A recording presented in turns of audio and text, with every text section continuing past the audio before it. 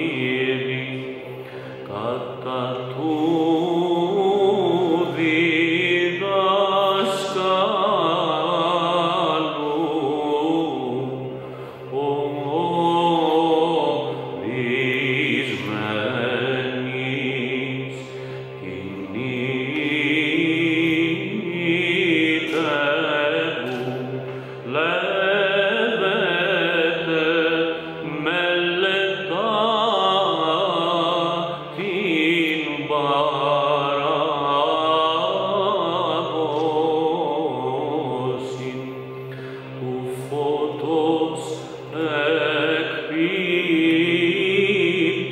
το σκότος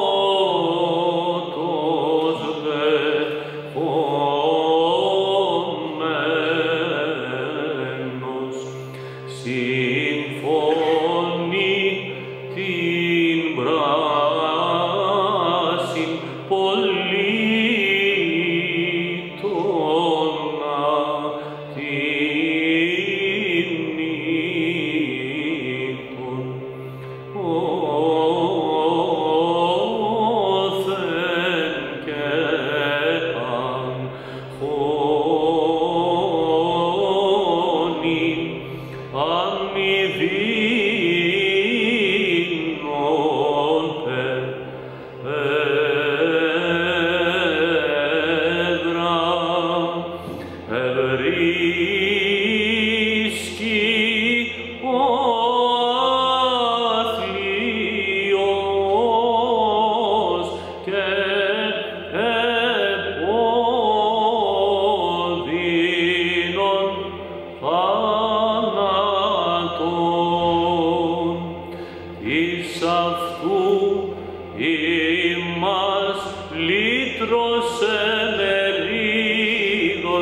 Χριστέ.